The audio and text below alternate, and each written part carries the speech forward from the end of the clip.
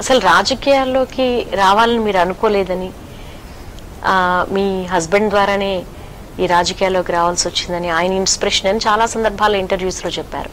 ఒకవేళ రాజకీయాల్లోకి రాకపోయి ఉంటే గనక పుష్ప శ్రీవాణి ఏమై ఉండేవాళ్ళు?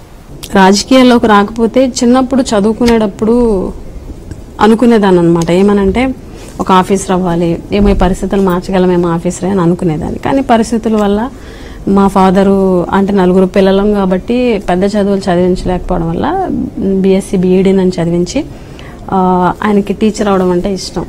అంటే ఆడపిల్లలు కదా టీచర్ అంటే హ్యాపీగా ఏ టెన్షన్స్ లేకుండా ఉంటుంది కాబట్టి ఆయనకి ఆయన కూడా ఒక టీచర్ కాబట్టి. సో నాన్నగారు ఇష్టం మేరకు టీచర్ అవ్వాలని ఆ ప్రయత్నాలు చేస్తున్నటువంటి సందర్భంలో అనుకోకుండా సంబంధం రావడం వాళ్ళది రాజకీయ నేపథ్యం ఉన్న కుటుంబం అవడం అలా రాజకీయాల్లోకి వచ్చాను. ఓకే. ఎప్పుడైనా మీ హస్బెండ్తో చెప్పారా ఎందుకు నాకు ఈ రాజకీయాలు నేను కుటుంబానికి పరిమితం అవ్వాలనుకుంటున్నాను? అలా ఏమన్నా మీ ఇద్దరి మధ్య ఎప్పుడైనా ఆ సంభాషణ వచ్చిందా? ఎప్పుడూ రాలేదండి. అంటే రాజకీయాలు అంటే నాకు రాజశేఖర రెడ్డి గారి మీద ఉన్న ఇష్టం వల్ల రాజకీయాలు అంటే ఇంట్రెస్ట్. ఆ రకంగా నాకు అవకాశం వచ్చింది. జగన్మోహన్ రెడ్డి గారు అంటే చాలా ఎక్కువ అభిమానం.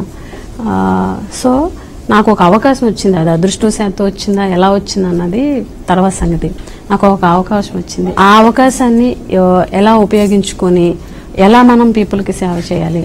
అదేవిధంగా నా భర్త పరీక్షిత్ రాజు గారు కూడా ఆయన ఆలోచనలు ఆయన అంబిషన్స్ అన్నీ కూడాను త్రూ నా ద్వారాగా నన్ను ఎంకరేజ్ చేసి నన్ను ముందుకి నడిపిస్తున్నారు.